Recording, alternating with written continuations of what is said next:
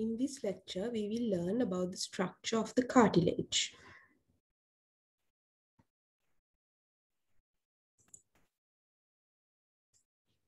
Cartilage is basically a connective tissue. It is a flexible structure. However, it is firm. If you want to feel what the cartilage feels like, then you can touch the tip of your nose or your ear and then you can feel the feel the structure of the cartilage. It is of course strong and it is also has the ability to absorb shock. It has a cushioning effect.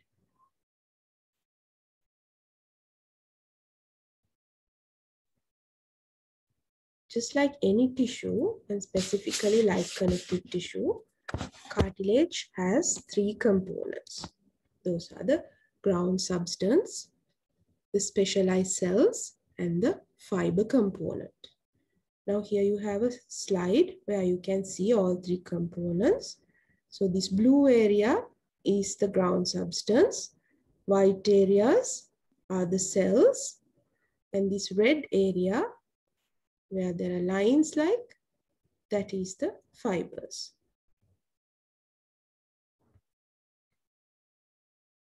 Now let's talk about each component separately. Firstly, we'll talk about the ground substance.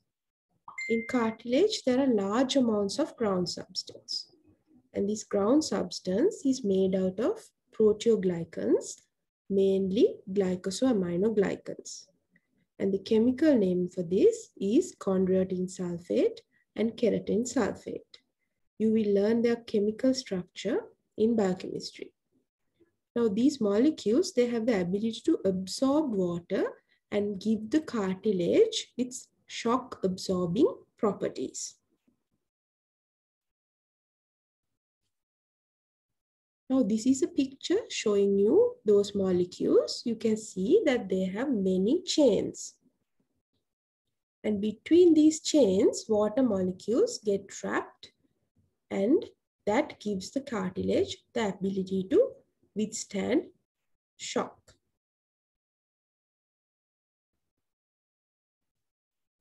Now let us learn about the cells of a cartilage. There are two types, chondroblasts, which are called cartilage precursor cells, and chondrocytes, which are the mature cartilage cells. Two types, chondroblasts and chondrocytes.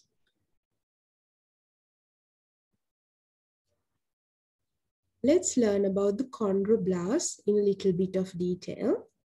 As I said, they are cartilage precursor cells. They originate from the primitive mesenchymal cells and they undergo several mitotic divisions. And this division gives rise to aggregations of cells. So you see groups of cells, either two or four. And these chondroblasts, they have the ability to synthesize the ground substance and the fibers.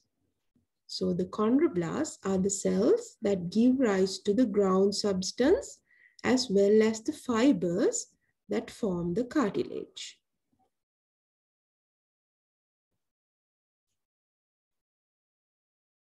Chondroblasts secrete the ground substance or another name for it is matrix or matrix proteins and these cells become trapped within this matrix.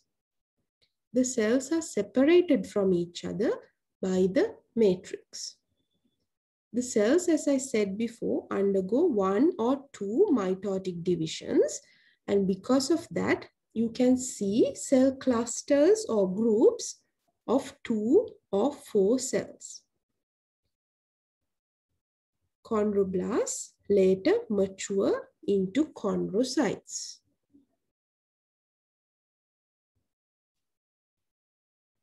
Now let us look at the structure of chondrocytes. Chondrocytes are mature chondroblasts. They have the ability to secrete the cartilage matrix just like chondroblasts. and they secrete the ground substance, that is the matrix, as well as the fibers. The chondrocytes maintain the turnover of the matrix, that is they manage the matrix. Whatever is lacking, they will produce, and if it is not necessary, it will get degraded. Chondrocytes don't usually undergo division, uh, but if it is necessary, they can undergo division as well.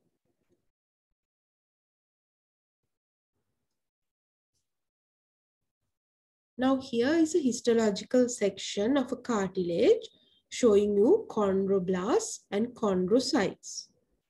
Now these, this is the periphery of the cartilage and on the periphery you can see single or double cells.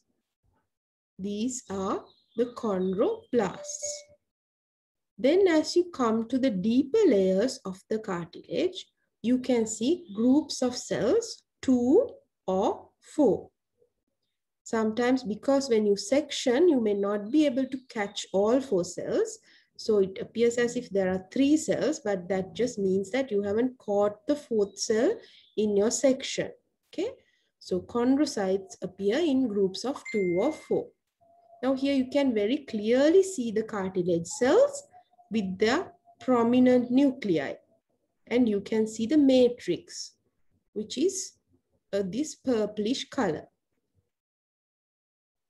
So you see single peripheral chondroblasts and the deeper layers you see chondrocytes, groups of two or four.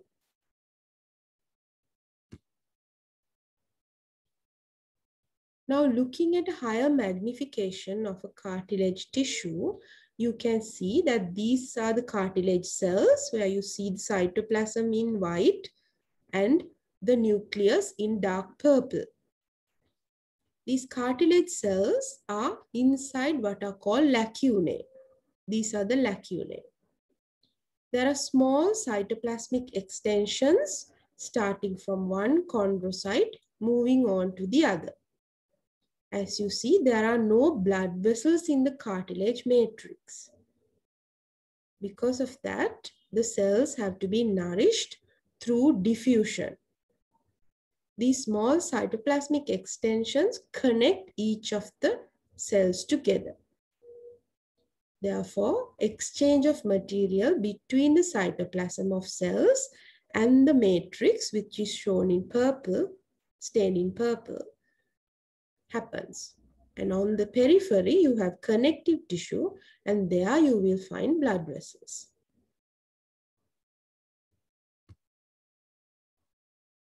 Now let us look at the ultrastructure of a chondrocyte. This is the electron micrograph of chondrocyte. Here you can see the cytoplasmic extensions. They may be difficult to see in light microscopy, but these extensions are visible in electron micrography. You can see the large nucleus with euchromatin, lots of open chromatin.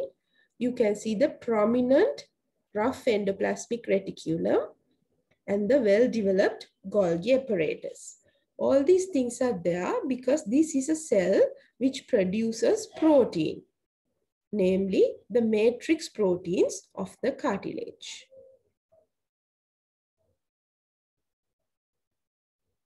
Now here you can see loops of cartilage as well as the matrix.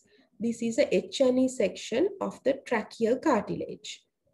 These are called isogenous groups and these are, this is the purple areas is the matrix. Now you can look at the matrix but it seems that there are no not much features here. So we call this amorphous matrix. The cartilage cells can be visualized clearly and these isogenous groups are there. And then the matrix is divided into territorial matrix, that is the matrix immediately surrounding the chondrocytes or chondroblasts, and the interterritorial matrix, which is, which is the matrix that separates the cells. Now let us look at the structure of the perichondrium cartilage is surrounded by the perichondrium perichondrium has collagen fibers and fibroblasts. These fibroblasts can transform into chondroblasts and form new cartilage at the periphery, just underneath the perichondrium. When you say peri, means periphery, okay? So chondrium means cartilage. So perichondrium is the tissue that covers the cartilage in the periphery. Now the perichondrium contains blood vessels and nerve fibers. Nourishment of the cartilage is maintained by the blood vessels in the perichondrium. Metabolites have to reach cartilage cells by diffusion across the matrix. Because of this, the thickness of the cartilage is limited because there's always a limit to diffusion. If you have extremely thick cartilage, then metabolites cannot diffuse into the center. So this prevents the cartilage from growing very thick.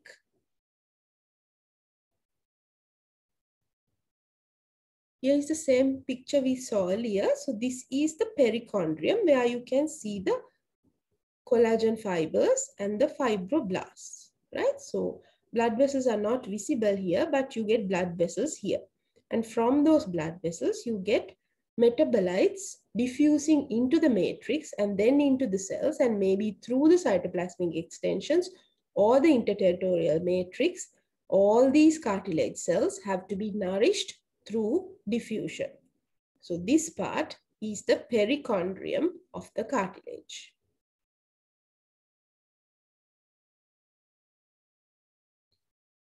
Now let us look at cartilage growth a little bit. There are two types of cartilage growth, appositional growth, where fibroblasts transform into chondroblasts and they lay down cartilage in the periphery. Then you have interstitial growth, where chondrocytes divide and deposit matrix within the deeper layers of the cartilage.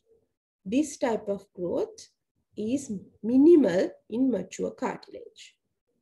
Okay, so there are two types of cartilage growth, appositional and interstitial.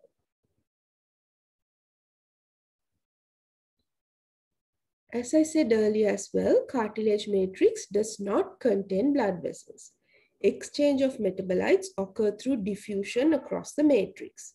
This limits the thickness of the cartilage.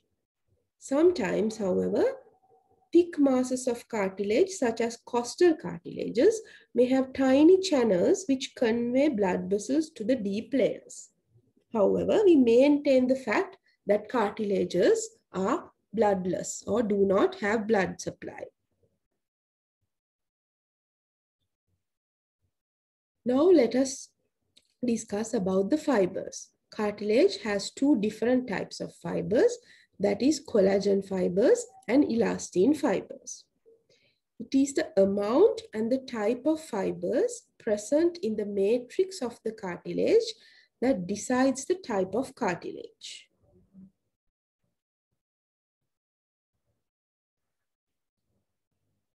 According to the amount and type of fibers, we can divide cartilages into three types. Hyaline cartilage, fibrous cartilage or fibrocartilage, and elastic cartilage. In hyaline cartilage, you have small amounts of collagen fibers. In fibrocartilage or fibrous cartilage, you have large amounts of collagen fibers. In elastic cartilage, you have large amounts of elastic fibers.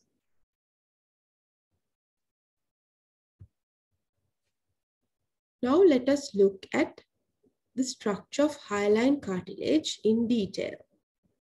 Hyaline cartilage is the commonest type of cartilage and it is found in the trachea and the bronchi in the respiratory system, in the costal cartilages of your chest, the articular surfaces of synovial joints, the epiphyseal growth plate, the nasal septum, and most of the laryngeal cartilages. All these structures are made out of hyaline cartilage. Now here you can see an H&E section of the trachea showing you a hyaline cartilage plate. This is the typical appearance of hyaline cartilage. The matrix has collagen fibers, but these cannot be seen because in light microscopy, the collagen fibers and the matrix have the same refractive power. Refractive power, therefore the matrix appears amorphous. Amorphous means characterless. You can't really see anything. They just appear like a opaque glassy area. And then embedded in this matrix, you can see the cartilage cells. So chondroblasts in the periphery and chondrocytes in the middle. Single chondroblasts and groups of two or four chondrocytes in the middle. These cells are inside lacunae and you can see the cytoplasm and the prominent nuclei.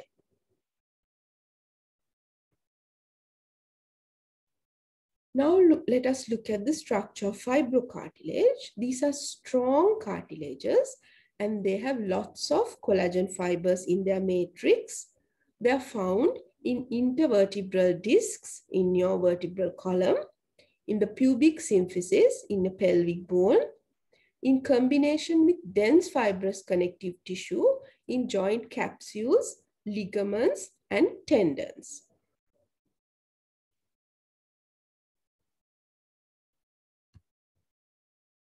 Now here you see an H&E section of a fibrocartilage. The matrix contains many bundles of thick collagen fibers. They are oriented in the direction of stress. Between these bundles of collagen fibers, you see chondrocytes which are arranged in columns between the collagen fiber bundles. This is the structure of a fibrocartilage.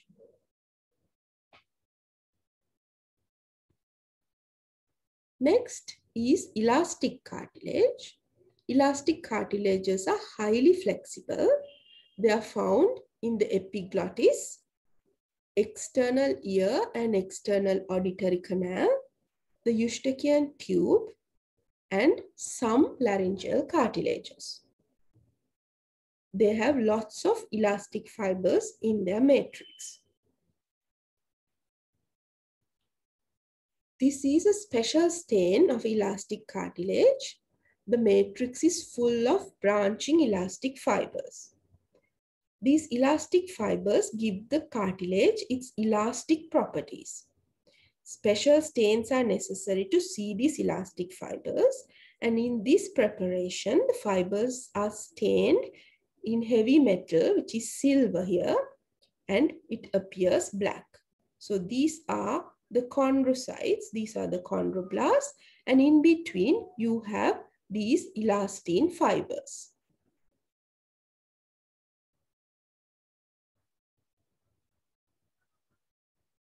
This is a section of the epiglottis, the special stain to show you elastic cartilage. This is a high power view of the epiglottis and you can see the branching elastic fibers. And here you see a lacunae where a chondrocyte would be. So these are the fibers. And the light blue areas are the matrix.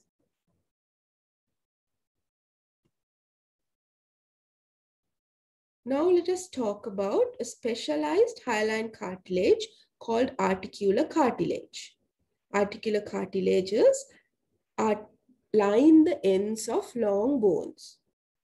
They are wear-proof, they are compressible, and they are low in friction. The articular cartilages line the joint surfaces, the ends of long bones.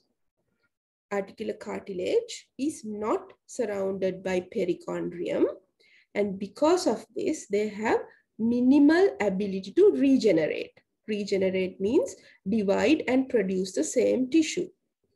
So if articular cartilage is damaged, it's difficult for it to heal. This is a special stain of articular cartilage of the knee. The pink area shows you the cartilage.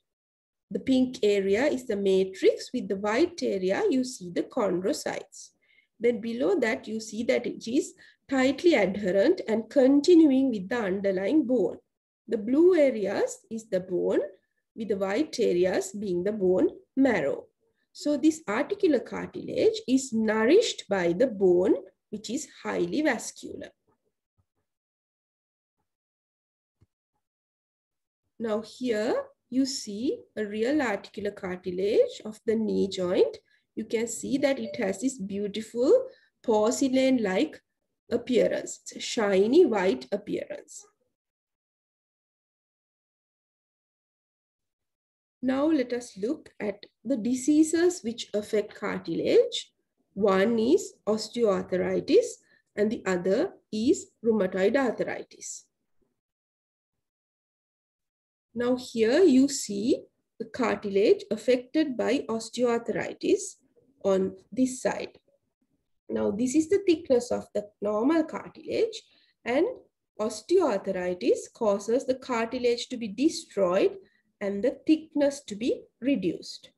So osteoarthritis is a disease of the elderly and it is caused by shearing forces which destroy the articular cartilage. Because it has minimal ability to regenerate, it's very difficult to treat this condition. Here you see the normal knee joint articular cartilage and here you see where the cartilage has been denuded, removed, right, by shear forces and the bone is exposed. So these areas, the bone is exposed. Very little cartilage is left on this knee. So the bones will grind together and cause severe pain for this patient. So here you see a radiograph. This is the osteoarthritic knee. This is the normal knee. The articular cartilage forms part of this gap between the two bones of the knee. Here you can see the gap is really reduced and there's what is called sclerosis. So this area has osteoarthritis.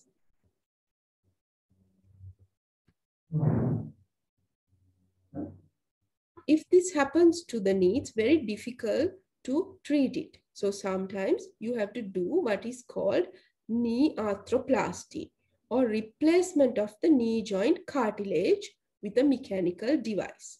So this damaged cartilage here is slowly cut away and these artificial joint surfaces are inserted. This is called knee arthroplasty. And this reduces, limits the pain the patient is feeling and brings back mobility. Because when there's severe pain, when the cartilage has been denuded, the patient finds it extremely difficult to move. So when the knee is replaced, they can move again and pain is minimal.